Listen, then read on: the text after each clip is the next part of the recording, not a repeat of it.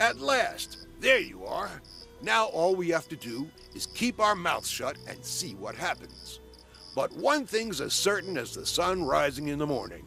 The people in this town love rumors and headlines.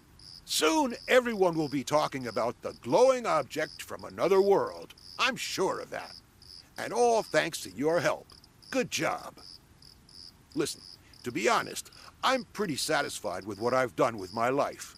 My career has been rock solid, but I also think it's high time that I retire. My business is small, but in good shape, and it needs someone to pick up the reins. And I honestly can't think of anyone better for this job than you. So, what do you say?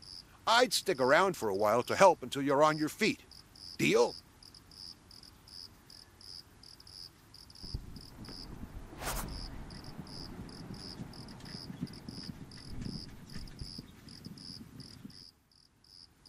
Congratulations on running your very own company. If you want it to succeed, you should stop by regularly and familiarize yourself with everything.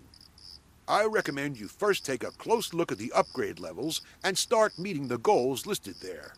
It's the only way to qualify for the big jobs in town so you can someday leave this place behind.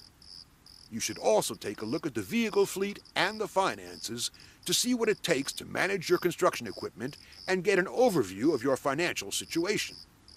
But the most important thing is fulfilling the orders. It's the only way you can make money to keep expanding your business and afford new construction equipment. So get to it. Running a company isn't an easy job, but the best way to start is by getting started.